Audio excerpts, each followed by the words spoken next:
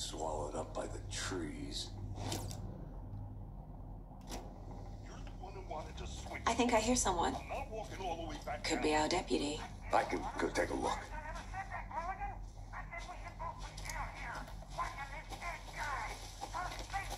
Hey, over here.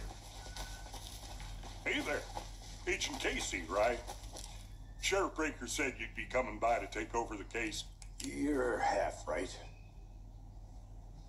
Anderson? Saga Anderson. I'll be leading this case. Seems you already know my partner, Alex Casey. Shoot. Sorry about that, ma'am. I, I'm Deputy Mulligan. I just figured that, you know, that, uh... The federal agent's right here, Thornton. My partner, Thornton, down at crime.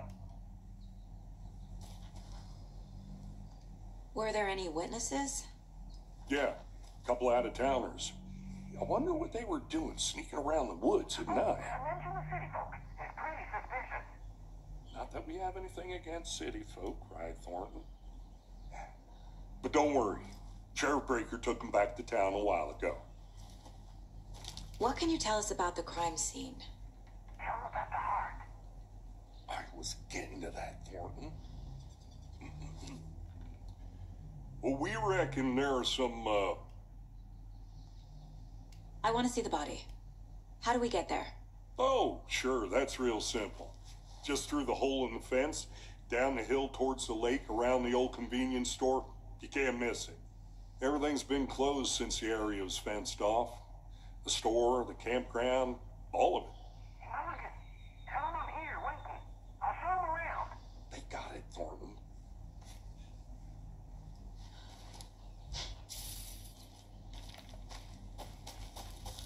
Before we get to the crime scene, there's time to review the facts of the case so far. Make sure I'm.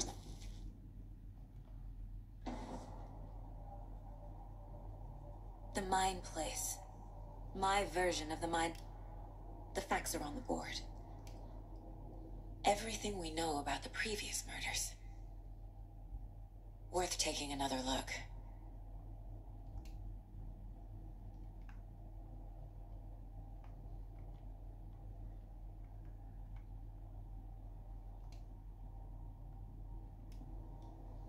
I see you're already hard at work, Anderson. Close to cracking it. We're just getting started. Let's head down the hill to the crime scene.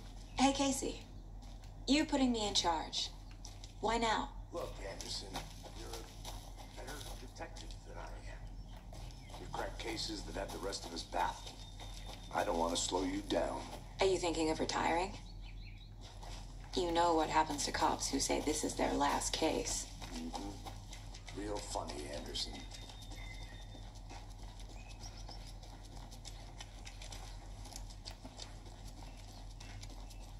Stairs are out. You okay to jump down? I'm not that old.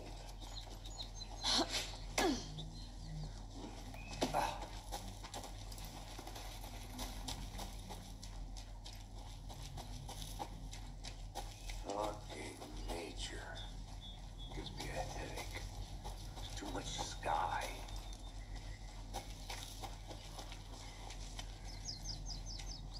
Not a bad place to get murdered. If getting back to nature is your thing. Damn. Should have brought an umbrella. I like the rain. The only thing around here that feels like home. You think the local law had the sense to put up a tarp? Here together at the murder site.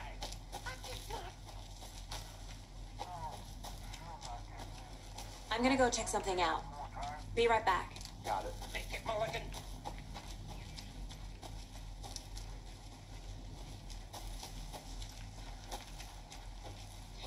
Deputy Thornton, I take it. That's me, at your service, ready to get this case solved. Now the body's behind the store. Come on, I'll show you.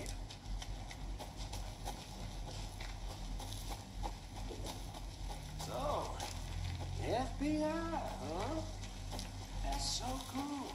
Hunting down psycho serial killers and shootouts with the mob.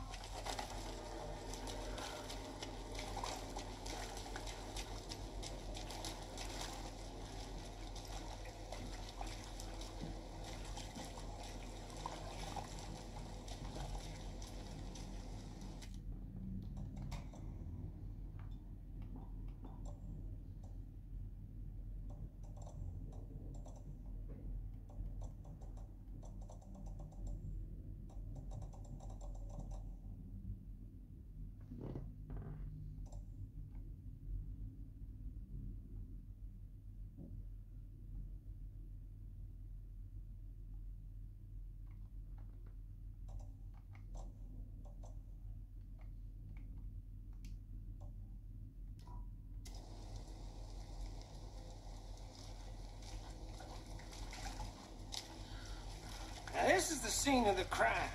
We found him on the table. And we didn't touch nothing, you know, procedures and stuff. Thanks, Deputy. No tarp. You owe me a coffee. Okay, let's start by examining our guest of honor. Does this fit the MO of the previous murders? Body is positioned on the table. Ritualistic.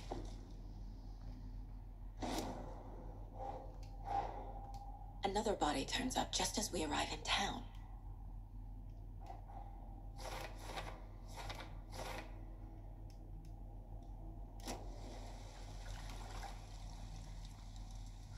Incised stab wound. Chest cut open. Heart removed. The killer left the heart right next to the body. Bruising on the wrist from the cargo straps holding him down.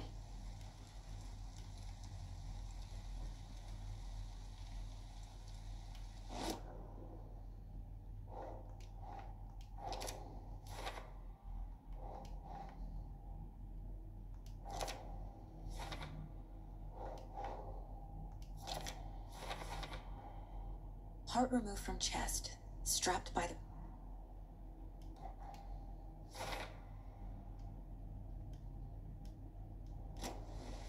Who is our victim? Who killed him? Need to find more clues. Large amount of blood on the table. The victim died here. Multiple people were here. Multiple killers? Someone was drinking beer. They spent time here. Waiting. Someone left in a hurry. Knocked the tripod over. Was it for a camera?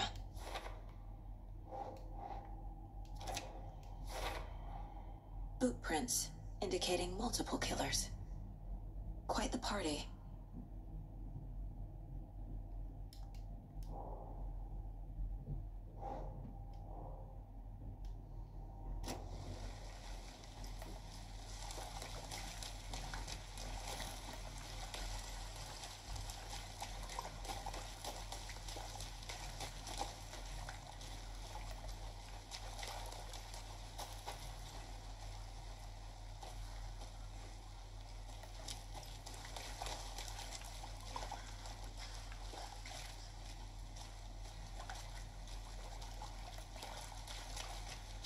Any idea who the victim is?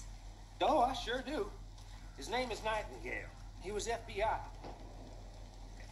So you knew our victim.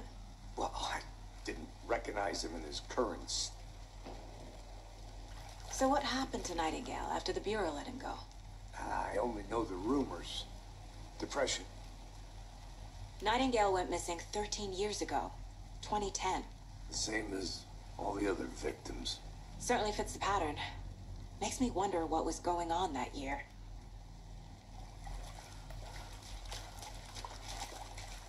I think that's everything. For now, at least. Mm-hmm. Anything clicking yet? Not sure. Need to think about it.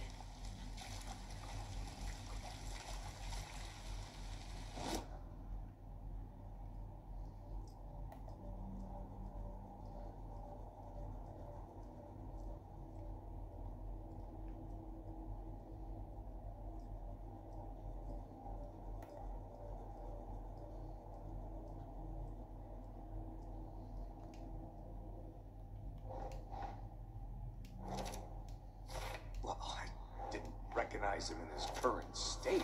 Robert Nightingale, ex-FBI, came to Bright Falls 13 years ago.